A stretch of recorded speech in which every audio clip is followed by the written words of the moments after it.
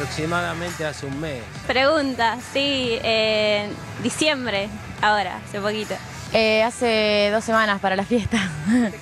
Y la última vez creo que fue en noviembre eh, por un evento familiar y después también por lo que eran las fiestas. Y hará más o menos dos meses me compré un short de baño. Sí, notoriamente, notoriamente.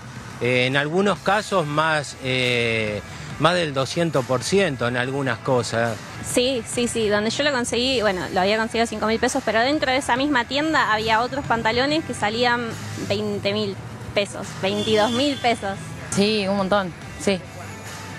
Y no sé, ese top me hubiese salido meses anteriores, no sé, 8 mil pesos.